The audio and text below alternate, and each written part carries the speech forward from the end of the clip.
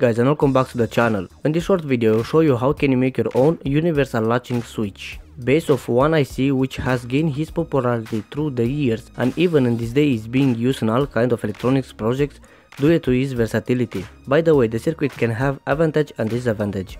All the time when working with main voltage be sure to check always your connection because mistakes happen and it's more better if you can avoid them so take all your precaution before you working with the main voltage. Let's begin with the schematic which is now in front of you. The circuit is very simple and well made. Unlike in the title it's a universal switch which can be used for DC load as well as AC load. The circuit at its core is using the 555 timer which is configured in a flip-flop configuration. Now let's explain the principle of the circuit operation. When the output pin 3 is high the capacitor C5 will charge through the resistor R4 to the peak value of our power supply and when the output at pin 3 is low the capacitor discharges through the same resistor to 0 volts. In order to switch the output from high to low or low to high a momentary switch is being used at the junction between trigger and the threshold pin. The voltage divider formed by the resistor R2 R3 will provide a voltage of a two-thirds of our supply to the pin 6 and 2 and when the switch is pressed this voltage is interrupted and trigger the internal flip-flop. This will allow the output to be switched between two stages. In one word, the circuit that acts as a toggle flip-flop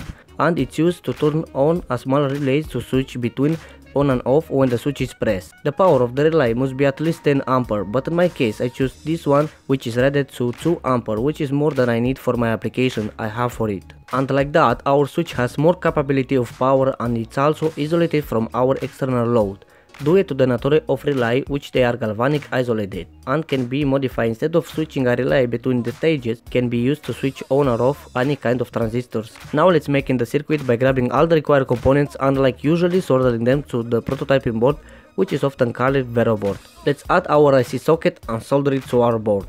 After we will proceed in the similar fashion with the rest of the components, just placing them and soldering. And like that, after some time has passed our board is ready for the first test. For powering the board you can use any power supply with at least a voltage of 9 to 12 volts and like mostly of the time I will be using one of my battery pack which I have made a while back. After we have power to the board we can like the name suggests change the state of our load. First let's try with a DC load and as you can see it's working just fine after which the AC main voltage came in.